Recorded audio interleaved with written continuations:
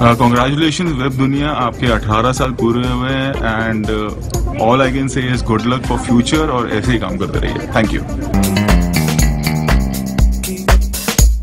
वर्षों पहले पूजा बेदी ने कंडोम बनाने वाली कंपनी का विज्ञापन किया था, तब बवाल मच गया था और पूजा को काफ़ी आलोचना का सामना करना पड़ा था। लेकिन अब स्थितियाँ बदल गई हैं और फ़िल्म अभिनेत्रियों को कंडोम के विज्ञापन करने पर कोई एतराज़ नहीं है। हाल ही में बिपाशा बसु ने अपने पति करण सिंह ग्रोवर के साथ कंडोम का विज्ञापन किया है।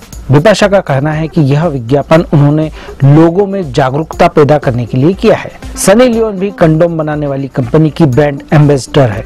खबर है कि यह कंपनी अब नया चेहरा लेना चाहती है और इसी सिलसिले में उन्होंने ईशा गुप्ता से संपर्क किया।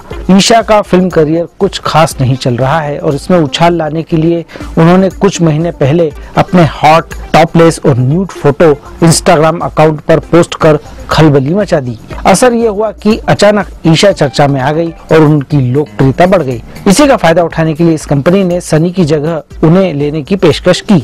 ईशा ने भी मौका देखकर चौका मारा और कहा कि जितनी रकम सनी को दी गई है, उससे डबल देनी होगी। ईशा की यह बात सुनकर कंपनी ने फैसला लिया है कि सनी के साथ ही करार आगे बढ़ाया जाना फ़ायदेमंद है।